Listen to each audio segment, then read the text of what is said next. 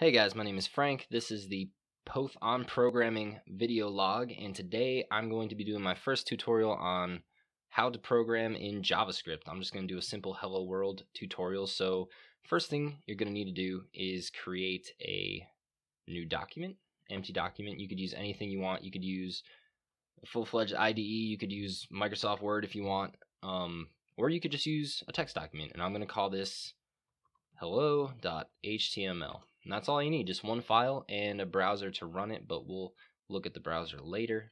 Open the file up and we're going to start editing. So first thing you want to do is specify your doc type. And I'm going to be using HTML5, so that's just a lowercase HTML. Next thing is declare an HTML tag. Close that tag out. Not HTLM, HTML. Then we're going to go in and create a head head tag. In the head tag, you do stuff like define the CSS for the page, the title, do that now. Be a really simple page. The title is just going to be hello. Actually, I'll do it with capital H. Hello world. With an exclamation point because we're happy title in that title. Um, now we're going to go to the body element, create that. And this is where all the stuff that you see on a web page comes into play.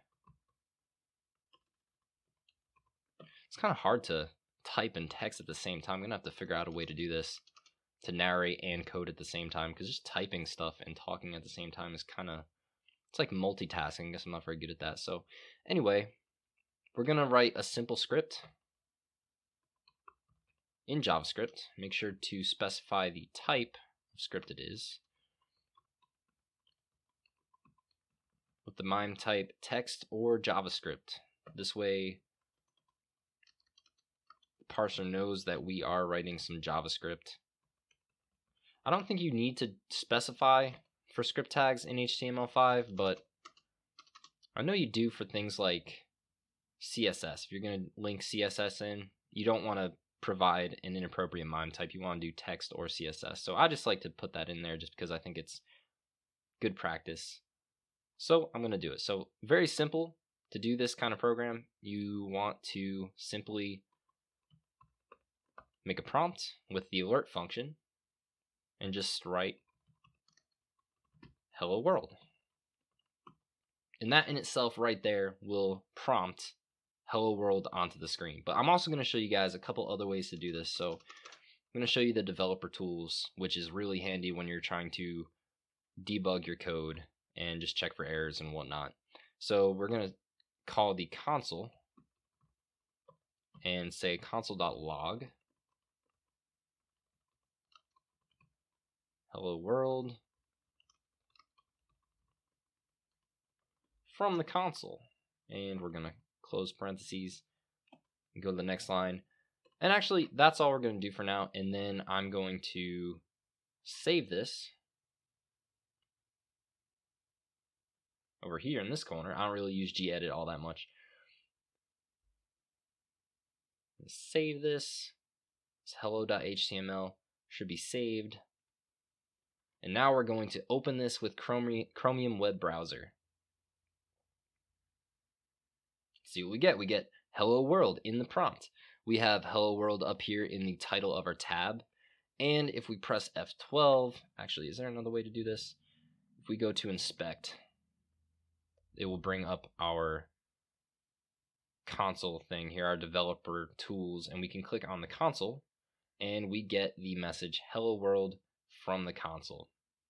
So pretty simple, pretty easy stuff. All the code was written in a little text file and then executed with the browser. And this is all you need right here. So anybody with a computer and a browser and a text editor can write front end web code really easily.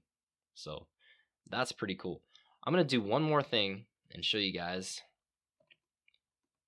how to actually put some text in the HTML document with um, simple h1 tag.